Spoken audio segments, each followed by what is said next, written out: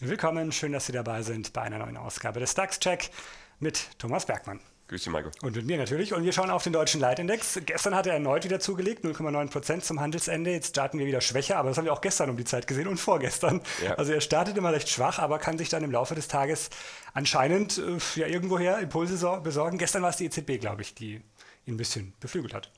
Ja, äh, interessanterweise hat der äh, Draghi das Wording etwas geändert. Man äh, hat auf die gute Konjunktur in Europa verwiesen und dass man das QE-Programm ausweiten wird, das wurde gestrichen und das hat zunächst mal den Euro beflügelt, aber nicht sehr lange und dann mit dem schwachen Euro, äh, der dann auf 1,23 gefallen war, ging es auch mit der Börse nach oben. Also wie gesagt, eigentlich war es ja ein, ein falkenartiger Ton der EZB, aber offensichtlich sagen sich die Anleger, na dann scheint es wirklich kon konjunkturell so gut in Europa auszuschauen. Und das ist ja sicherlich nicht schlecht. Definitiv. Weil ob jetzt der Zins bei 0% ist oder bei 1%, das macht äh, noch nichts aus. Und von daher ähm, ja, ist, überwiegen hier, glaube ich, die, die Aussagen zur Konjunktur. Und das hat den ganzen Markt etwas beflügelt. Donald Trump hat sich ja dann auch für uns nachbörslich geäußert zu den Details der Strafzölle. Es können Ausnahmen geben für Mexiko, für Kanada. Hat uns jetzt aber auch nicht weiter belastet, dass wir natürlich nicht in diesen Ausnahmen mit dabei sind. Ja, ähm, es wird. Der, der Markt ist im Moment am Abwägen. Was, was ist besser? Oder was wiegt mehr? Strafzölle? Die sind ja jetzt Fakt. Oder äh, die Einigung oder die, die Annäherung an Nordkorea. Das spielt ja auch jetzt also für uns hier, glaube ich, eher eine untergeordnete Rolle, aber das ist so, der, was der Markt jetzt im Moment äh, versucht einzuordnen.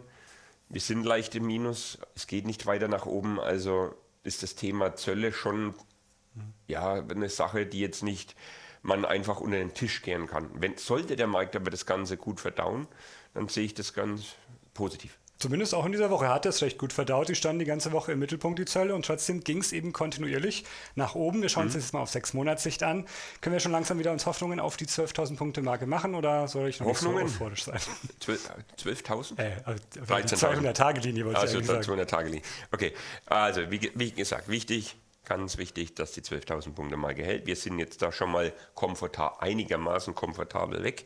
Wichtig ist jetzt die 12.5 hier in dem Bereich. Das wäre die erste Hürde, dann natürlich die 200-Tage-Linie. Wie wir sehen, wir sind im Moment im Niemandsland, noch kein, kein eindeutiges Signal.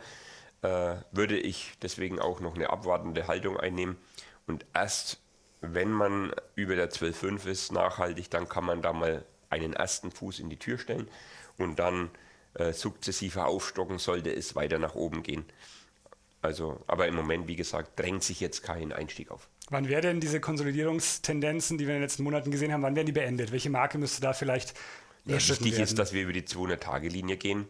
Äh, ist zwar ein sehr einfaches Signal, sage ich mal, aber wenn ich mir die Vergangenheit anschaue, äh, dann hat es schon äh, eine, eine, Wirkung. Mhm. Ne? Hier hat man mal ein Fehlsignal ähm, hier in dem Bereich. Also das will ich nicht auch so verlässlich, dass man jetzt hundertprozentig nach der 200-Tage-Linie gehen muss, ist es auch nicht. Aber ähm, gab schon immer genügend äh, gute Signale, die man da bekommen hat. Dann werden wir das auch weiter beobachten. Dankeschön für heute und für diese Woche, Thomas. Sehr gerne. Am Montag melden wir uns zurück. Bis dahin Ihnen ein schönes Wochenende. Auf Wiedersehen.